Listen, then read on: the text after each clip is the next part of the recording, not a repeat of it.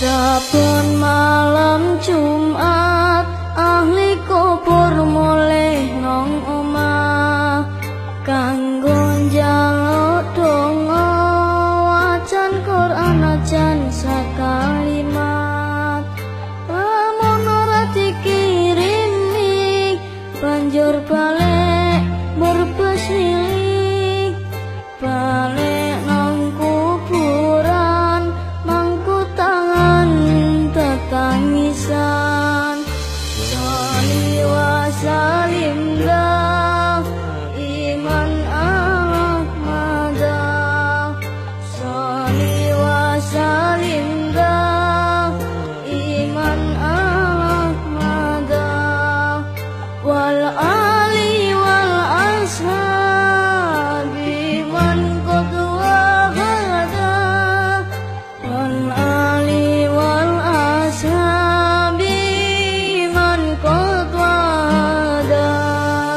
kebaco teman